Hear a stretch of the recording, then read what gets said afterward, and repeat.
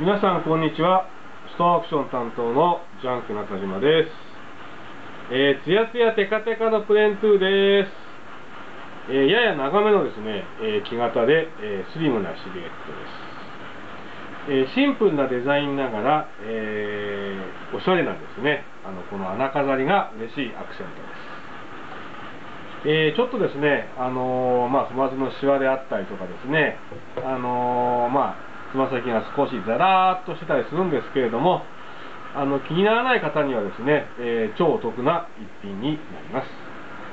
えー、ライニングの方もですね、あのー、レザーを使って、え質感も高いです。えまたソールはですね、えラバーソールなので、え好きなところを歩いてちょ入札お願いします。ありがとうございました。